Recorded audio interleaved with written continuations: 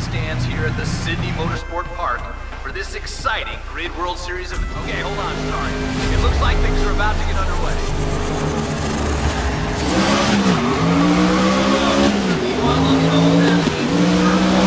Looks like you're in for a tougher race in the wet. Don't expect it to dry up anytime soon.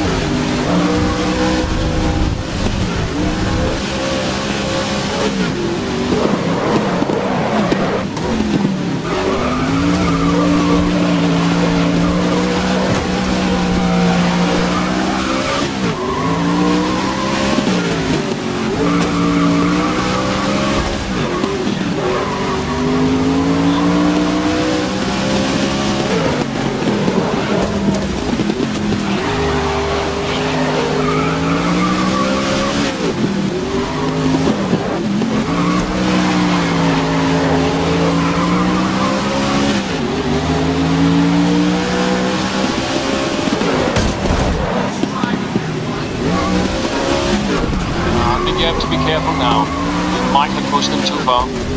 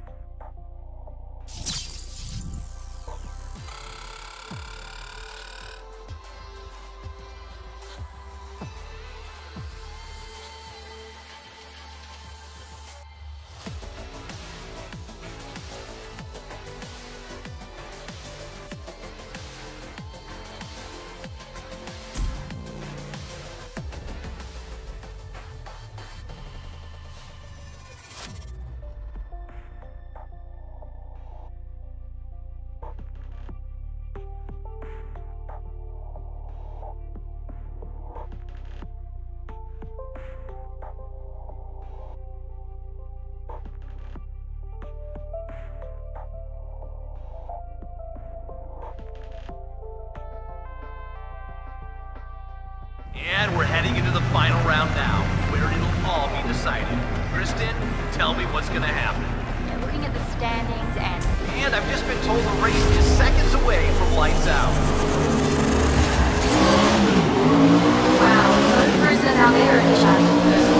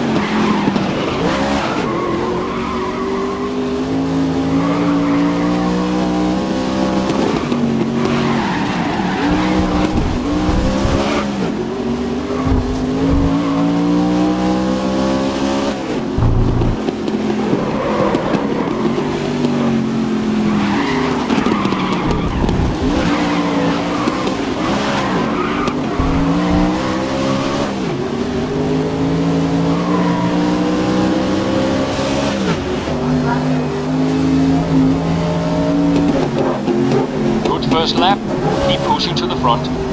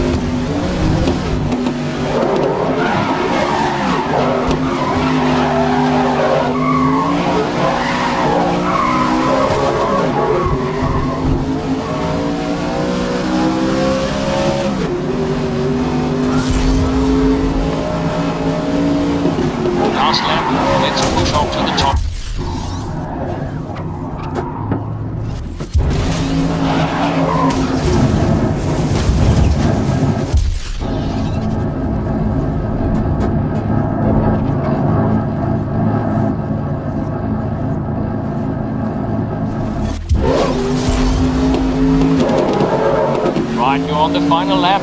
Push to the front.